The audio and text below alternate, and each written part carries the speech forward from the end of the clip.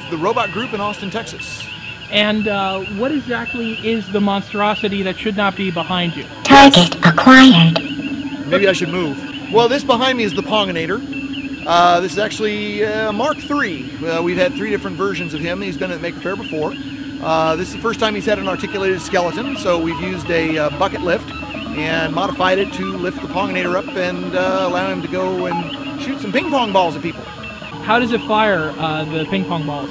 There's a computer in the back over here that's uh, it's a Parallax Basic stamp-based uh, microcontroller, and it's got software in it that just gives commands to the solenoid valves. These are basically air reservoirs back here, and then there's uh, air valves here that let the air come out and it fires the balls, and um, it just does it as a sequence, fires them across the whole place.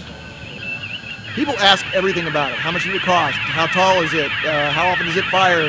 Can I fire it?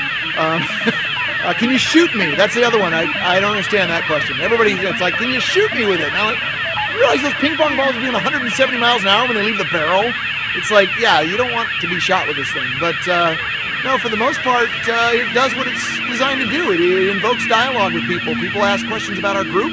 Uh, they ask questions about the device. They say, well, how can I get involved?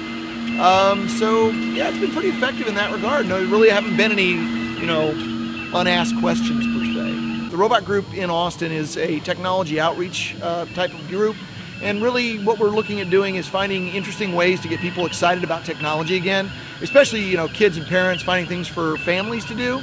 And this originally uh, was was thought up as a uh, device to use to uh, hold a projection video screen, and it kind of got out of hand.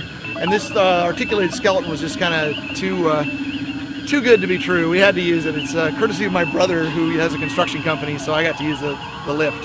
You've got to be careful when you're working with anything that has high pressure. Uh, it has you know 110 volt electronics. You got to keep safety in mind. I'm also using a, a lift that, that you know is pretty heavy duty stuff. I don't want to bring it down on anybody. So I mean I've got to be cognizant of that. But you know as a device, it's really more about making people just freak out and like oh where what is that thing? And, and what does it do? And how did you build that? And, and it, it sparks a dialogue makes people think